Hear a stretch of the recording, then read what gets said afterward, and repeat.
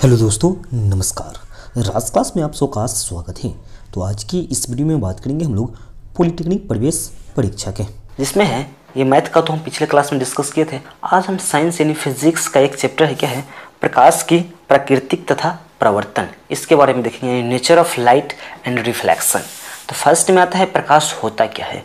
तो प्रकाश एक ऐसा माध्यम है, अदृश्य माध्यम है, जिससे किसी वस्तु को देखने की हमें अनुभूति प्राप्त होती है प्रकाश कहलाती है। यानी प्रकाश को तो हम देख नहीं सकते हैं, लेकिन प्रकाश के माध्यम से हम किसी वस्तु को देख सकते हैं, प्रकाश कहलाती है।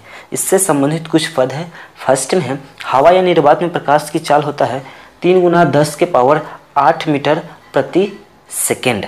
दूसरा है, जल में प्रकाश की चाल दो दशमलव दो पाँच गुना दस के पावर आठ मीटर प्रति सेकेंड होता है। इसके बाद क्या है, प्रकाश का प्रकाश का प्रकीर्णन, यानी स्कैटरिंग ऑफ़ लाइट तो स्कैटरिंग ऑफ़ लाइट होता क्या है? जब प्रकाश की किरण, यानी जब प्रकाश की किरण किसी सतह से टकराकर, जैसे एक सतह है, जब प्रकाश किरण किसी सतह से टकराकर अनियमित रूप से विभिन्न दिशा में छितरा जाती है तो इसको क्या कहते हैं? प्रकाश का प्रकीर्णन कहते हैं। तो इससे संबंधित फ़र्स्ट में क्या है? इसी कारण से सूर्योदय तथा सूर्यास्त के समय सूर्य का रंग लाल दिखाई देता है। इन प्रकाश के प्रकीर्णन के कारण ही सूर्योदय तथा सूर्यास्त के समय सूर्य का रंग लाल दिखाई देता है। एक और है, इसी कारण से पृथ्वी से देखने पर, यानी इसी के कारण से पृथ्वी से देखने पर आकाश का रंग कैसा दिखाई देता है तो नीला दिखाई देता है। यानी प्रकाश के प्रकीर्णन के कारण ही पृथ्वी से आकाश को देखने पर उसका रंग नीला दिखाई देता है। इसके बाद आता है प्रकाश का प्रावर्तन, रिफ्लेक्शन ऑफ़ लाइट। तो रिफ्लेक्शन ऑफ़ लाइट होता क्या है? प्रकाश की प्रावर्तन होता क्या है? तो देखिएगा, जब प्रकाश की किरण किसी सतह से टकराकर, जैसे यह सतह है, यह आती हुई किरण जब प्रकाश की किरण किसी सतह से टकराकर लौट जाती है, इस घटना को प्रकाश का प्रवर्तन कहते हैं।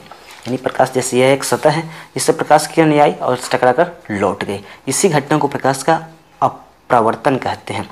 यानी और जिस सतह से प्रकाश की किरण टकरा कर लौट जाती है, उसको क्या कहते हैं? प्रवर्तक सतह। और प्रवर्तक सतह के जिस बिंदु से प्रकाश की किरण टकरा कर लौट जाती है, उसे आपतन बिंदु कहते हैं। और आपतन बिंदु की ओर आने वाली किरण को आपतित किरण और प्रवर्तन बिंदु प्रवर्तक सतह से टकराकर आपतन बिंदु से दूर जाने वाली किरण को प्रवर्तित किरण। और देखिए अविलंब यानी प्रवर्तक सतह के लंबवत आपतन बिंदु पर डाले गए लंब को क्या कहते हैं? अविलंब कहते हैं। और अब आपतित किरण अविलंब के साथ जो कोण बनाते हैं, उसे आपतन कोण जिसको आई से हम निरूपित करते हैं। और परावर्तित किरण अभिलंब के साथ जो कोण बनाते हैं, उसे परावर्तन कोण कहते हैं। इसके बाद है, प्रकाश का प्रवर्तन, रॉ लॉ ऑफ़ रिफ्लेक्शन यानी प्रकाश के प्रवर्तन के कितने नियम हैं? तो प्रकाश के प्रवर्तन के दो नियम होते हैं। फ़र्स्ट में है, आपतित किरण, प्रवर्तित किरण तथा आपतन बिंदु पर डाले गए जो अभिलंब है, तीनों एक ही तल में होते हैं, एक ही साइड में होता है। दूसरा है, आपतन कोण प्रावर्तन कोण के बराबर होता है।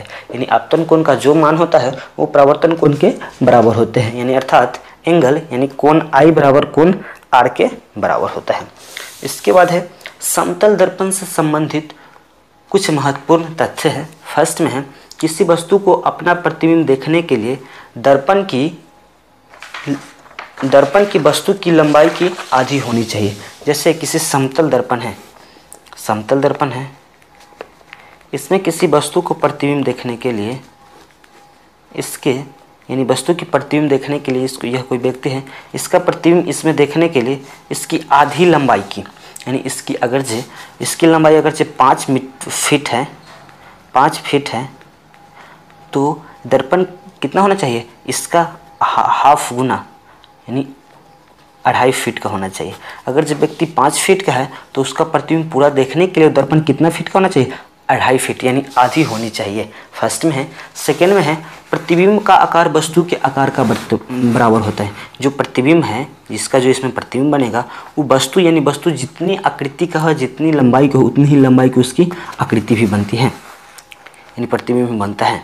थर्ड में, यदि कोई वस्तु समतल दर्पण की और भी चाल से गति करती है। जैसे कोई वस्तु है, समतल दर्पण की ओर भी चाल से गति करती है तो प्रतिबिंब की ओर वस्तु की सापेक्षिक चाल, यानी इसमें वस्तु की सापेक्षिक चाल कितना हो जाता दो गुना हो जाता है, यानी टू भी हो जाता है।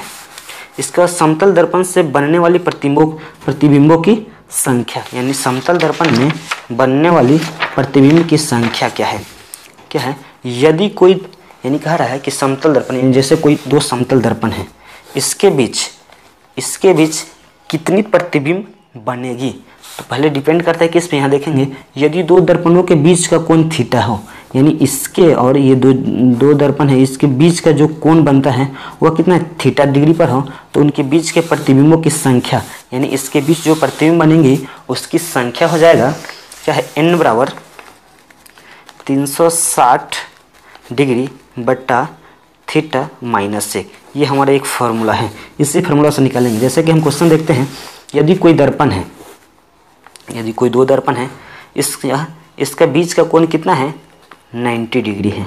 तो कहेगा, इसमें कितने प्रतिबिंब बनेंगे? तो नंबर निकालेंगे। एन बराबर वही फॉर्मूला लिखे हैं 360 बटा थीटा घटाओ एक। यानी एन बराबर हो जाएगा 360 थीटा का वैल्यू कितना रखेंगे? 90 माइनस एक। इससे कटेगा चार बार में। यानी एन बराबर हो जाएगा चार माइनस एक एन बराबर तीन। यानी तीन इसमें क्या बनेंगे? तीन प्रतिबिंब बनेंगे। यानी तीन इसकी संख्या, प्रतिबिंबों की संख्या कितनी बनेगी? तीन बनेगी। अब इससे संबंधित कुछ महत्वपूर्ण क्वेश्चन यानी इंपॉर्टेंट क्वेश्चन है। तो पहला क्या है? समतल दर्पण से किसी वस्तु का प्रतिबिंब कैसा बनता है? यानी समतल दर्पण है, उससे किसी वस्तु का प्रतिबिंब कैसा बनेगा? तो वास्तविक तो बनेगा। दूसरा नंबर क्वेश्चन है, एक मनुष्य की लंबाई एक दशमलव चार मीटर है तो उसको अपना पूरा प्रतिबिंब देखने के लिए दर्पण की कम से कम कितनी लंबाई होनी चाहिए? तो अभी हम समतल दर्पण के कुछ महत्वपूर्ण तत्व बताए थे कि अगर कोई व्यक्ति पाँच फीट का हो, यानी मानते हैं पाँच मीटर का ही हो तो इसकी आधी लंबाई की दर्पण होनी चाहिए। यानी क्या हो जाएगा? दर्पण की लंबाई बराबर मनुष्य की लंबाई बटा दो। तो दर्पण की लंबाई कितना है? एक दशमलव चार। यानी एक दशमलव चार बटा दो, इससे इसको काटेंगे तो ज़ीरो दशमलव सात मीटर आंसर हो जाएगा। इसका तीसरा नंबर क्वेश्चन है क्या? एक मनुष्य समतल दर्पण से तीन मीटर प्रति सेकेंड की गति से दौड़ रही है। यानी एक वो व्यक्ति है समतल दर्पण की ओर है। यानी तीन मीटर प्रति सेकेंड की गति से दौड़ रही है। वह अपने प्रतिबिंब के वेग से दूर भाग रहा हुआ क्या होगा? यानी उसका प्रतिबिंब का वेग जो मनुष्य का वेग है जो क्या होगा? तो ये देखे हैं कि अगर जो समतल दर्पण की ओर जब भी दूरी से कोई वस्तु जाता है या कोई मनुष्य जाता है तो उसमें प्रतिबिंब क्या होता है? उसका दो गुना हो जाता है। यानी दो भी हो जाता है। यानी मनुष्य का वेग हो जाएगा टू भी। यानी दो गुना उसकी उसकी चाल क्या है? तीन मीटर है। यानी दो गुना तीन, यानी छः मीटर प्रति सेकेंड हो जाएगा। क्वेश्चन नंबर चार है, निम्नलिखित रंगों के प्रकाश में से किस रंग का प्रकाश का प्रकीर्णन सबसे अधिक होता है? तो निम्नलिखित यानी श्वेत रंग में से निम्नलिखित रंग यानी सात रंग होता है।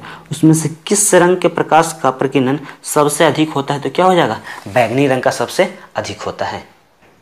क्वेश्चन नंबर पाँच है। किस रंग के किरणों का प्रकीर्णन सबसे कम होता है? तो लाल रंग के किरणों का प्रकीर्णन सबसे कम होता है। नेक्स्ट यानी छः नंबर है। आकाश नीला दिखाई देता है किसके कारण? यानी प्रकाश के प्रकीर्णन के कारण होता है। एक विद्युत बल्ब को 60 डिग्री पर झुके हुए दो समतल दर्पण के बीच रखा जाता है। तो इस बल्ब की कितनी प्रतिबिंब दिखेंगे? यानी एक बल्ब है जो दो समतल दर्पण है, जो दो समतल दर्पण है, इसके बीच का जो कोण है, यानी थीटा और कितना दिया हुआ है? साठ डिग्री पर झुका हुआ है। तो बोल रहा है तो दो समतल दर्पण के बीच रखी गया है, इसमें बल्ब की प्रतिबिंब कितनी बार दिखेंगे? तो क्या है थीटा का वैल्यू कितना दिया है? साठ डिग्री दिया हुआ है। तो फॉर्मूला लगाएँगे यानी नंबर यानी एन बराबर तीन सौ साठ बटा थीटा माइनस एक। यानी तीन सौ साठ बटा साठ थीटा का वैल्यू है माइनस एक है। इससे ये छः बार में कट जाएगा। यानी छः माइनस एक बार पाँच, यानी उसका जो संख्या प्रतिबिंब की संख्या कितना हो जाएगा? पाँच हो जाएगा। क्वेश्चन नंबर आठ देखते हैं। यदि समतल दर्पण को दस डिग्री घुमा दिया जाए तो प्रवर्तित किरण कितना डिग्री घूमेगा? तो हमें मालूम है, यानी किसी वस्तु को हम समतल दर्पण में, यानी एक बार घुमाते हैं, यानी दोगुनी दोगुनी वेग से घूमता है, क्या हो जाएगा? प्रवर्तित किरण क्या हो जाएगा? दो गुना बीस, यानी बीस डिग्री पर घूमेगा। एक क्वेश्चन है, एक मोटरसाइकिल यानी एक मोटरसाइकिल के एक मोटर चालक सॉरी एक मोटर चालक 50 किलोमीटर प्रति घंटा की चाल से चलते हुए अपने समतल दर्पण में 60 किलोमीटर प्रति घंटा की चाल से पीछे आ रही कार का प्रतिबिंब देखता है। यानी कह रहा है कि वो मोटरसाइकिल चल रहा है अपनी 50 किलोमीटर प्रति चाल की वेग से, चाल से चलते हैं और समतल दर्पण में साठ किलोमीटर चार के पीछे की ओर, पीछे की ओर प्रतिबिंब देखता है कार की। तो पीछे आ रही कार एवं उस कार का आभासी प्रतिबिंब एक दूसरे के प्रतिबिंब की दर से आता है तो वह क्या होगा? तो वह क्या होगा? तो देखते हैं क्या हो जाएगा। मोटर गाड़ी की चाल कितना दिया हुआ है? पचास किलोमीटर प्रति घंटा। कार की चाल कितना है? साठ किलोमीटर प्रति घंटा। और इसका वेग क्या हो जाएगा? दोनों को घटाव करेंगे कितना? दस किलोमीटर प्रति घंटा। तो इसका दर हो जाएगा, यानी दो भी होता है, यानी दो गुना दस, यानी बीस किलोमीटर प्रति घंटा। थैंक यू वेरी मच मेरा पूरा वीडियो देखने के लिए आप सबको बहुत बहुत धन्यवाद। तो मिलते हैं कुछ धमाकेदार वीडियो के साथ। तब तक के लिए जय हिंद।